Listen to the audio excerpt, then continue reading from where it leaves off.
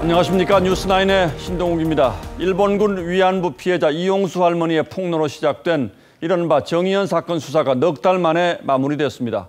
검찰은 윤미향 민주당 의원에 대해서 기부금품법 위반과 준사기 혐의 등 6개 혐의가 있는 것으로 보고 불구속 기소했습니다. 특히 기부금 가운데 1억여 원은 개인 용도로 사용한 것으로 파악했습니다. 오늘 첫 소식은 노도일 기자가 먼저 보도하겠습니다. 정의기억연대 전 이사장이자 정대엽 전 대표였던 윤미향 의원에게 적용된 혐의는 무등록 기부금품법 모집 등 모두 6가지입니다. 위반 죄명으로 보면 보조금 관리법 위반과 준사기와 횡령, 배임 등 총 8개로 나뉩니다.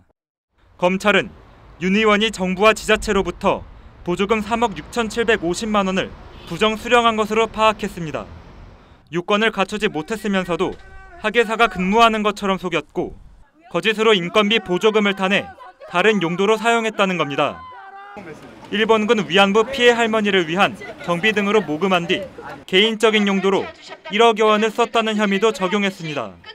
중증 치매였던 길원옥 할머니가 여성 인권상 상금으로 받은 1억 원 중 5천만 원을 정의기억재단에 기부하게 하는 등 총 7,920만 원의 기부금을 내게 한 것은 준사기 혐의를 적용했습니다. 안성 쉼터를 시세보다 높은 가격인 7억 5천만 원에 사들인 것은 업무상 배임 혐의라고 봤습니다. 정대협 시절부터 윤 의원과 함께 일했던 김모 전 정대협 사무처장도 일부 혐의 공범으로 기소했습니다. 검찰은 다만 정의연 회계부정 의혹의 출발점이던 일부 회계 부실 공시 문제에 대해선 처벌할 규정이 없다며 불기소 처분했습니다. TV조선 노도일입니다.